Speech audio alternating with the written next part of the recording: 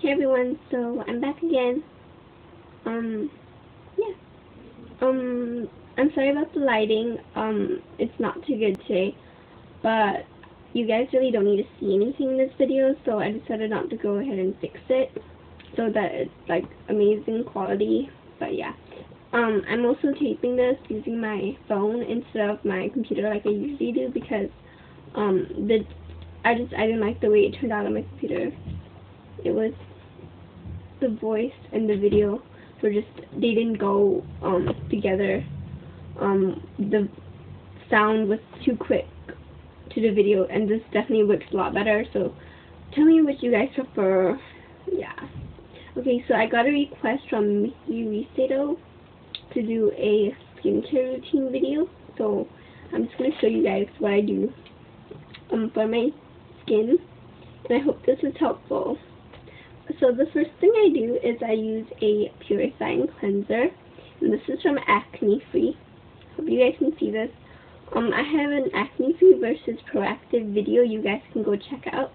Honestly, I do not have a preference for either one. It's just I ran out of Proactiv and I'm gonna finish this before I buy a new one. So if you guys have any um, cleansers that you particularly like um, and would recommend, put them down in the comment box. I'd like to check some new ones out. Um, but this one works for me. The Proactiv worked really well for me too. Um, they both have the same ingredients. Proactiv is just a lot more expensive, obviously, and I think um, the ingredients are more concentrated. Um, but this works well too. Um, so first I use this. Um, and I use it once a day, every day. Um, or if I forget, every other day. Yeah, I'm not really good about keeping my skin, um, or cleaning my skin, but I do, um, do it at least every other day. If my skin is really dry, I usually skip a day because, um, I have sensitive skin. But, um, and if you guys are wondering, I do have dry skin as opposed to oily skin. Um, so I use this, and then I'll use, I'll use this. And then, um, next thing I do is I use a blackhead cleaning scrub, and the one I'm using right now is from Clean and Clear. And I put this on my nose and my forehead and kind of up on my cheek here. And then I will use this Biore facial foam in extra moist because I do have dry skin and this definitely helps. Um, I got this in Asia so I do not know if you can find it here. You can probably find it if you go to like an Asian market or you can find probably like something similar to this which I'll have to replace this soon so I have to go to the local store and find one that's not Biore. And then um after I do that um and also I can I like I kind of really like doing this while I'm in the shower just because it's easier. I'm really bad about kind of splashing water everywhere so it's easy for me to do this washing my face in the shower. So when I get out of the shower, I do toner, and I do a revitalizing, or no, repairing lotion, and these are from Proactiv. Um, I do know that the acne-free one, it, it does come in a box with all three. And I think the Proactiv one is definitely like $30 more than the um, acne-free one. And I think the acne-free one is $20 if I'm not wrong. Okay, and then after I do, okay, after I do that, I use moisturizer and moisturizer I believe is so so important. Um, and I use this one from Neutrogena. It's called Oil Free Moisture in SPF 15. And I just, um, I think I do two or three. And I kind of just put it on my nose, here, and just everywhere. Moisturizer is so important, especially if you're dry skin. And then, um, another really a good thing I think for anybody to have is um this, and this is from Proactiv. I don't know if um um acne for you guys is, but this is from Proactiv, and I have the little one, and I do know they have a bigger one, but I think um I'm not sure how much it is, but I definitely think it's worth whatever price it is. Um, it's not too bad. I don't think it's probably like 20 bucks.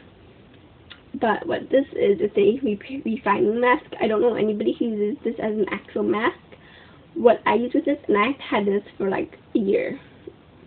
What I do with this is at night, on days when I just have random spot breakouts, I'll put like a little tiny little, like half a pea size amount, and I'll dab it on.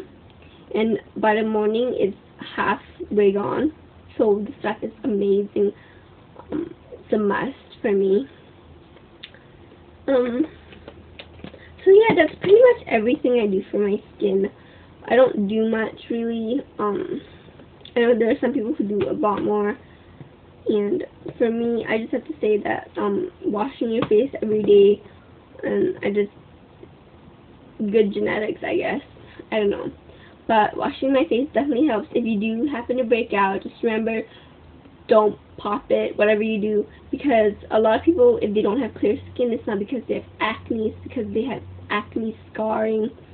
Um, I don't touch my face a lot, especially if you haven't washed your hands, don't touch your face. When you're doing your makeup, wash your hands real well. Um, you know, keep a little bottle of Purell or something on your um, vanity.